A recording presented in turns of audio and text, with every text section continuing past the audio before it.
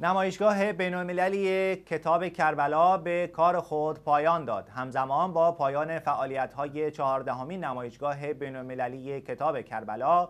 غرفه مجموعه رسانه‌ای امام حسین علیه السلام نیز به کار خود پایان داد. به گزارش شیعه ویز، مسئولان برگزاری نمایشگاه بین‌المللی کتاب کربلا با حضور در غرفه مجموعه رسانه‌ای امام حسین علیه السلام ضمن تقدیر از این مجموعه برای دستندنکاران آرزوی موفقیت کردند گفتنی است عرفه مجموعه رسانه‌ای امام حسین علیه السلام که برای چندمین سال متوالی در نمایشگاه بین‌المللی کتاب کربلا شرکت کرده بود به عنوان یکی از قدرتمندترین و شناخته شده ترین شبکه های ماهواره‌ای مستقل شیعی مورد استقبال فرهیختگان و اساتید دانشگاه و محبین اهل بیت علیهم السلام قرار گرفت. چهاردهمین نمایشگاه بین‌المللی کربلا در حاشیه جشنواره ربیع الشهاده و به مدت ده روز برگزار شد که در آن 133 مؤسسه انتشاراتی رسانه‌ای حضور داشتند.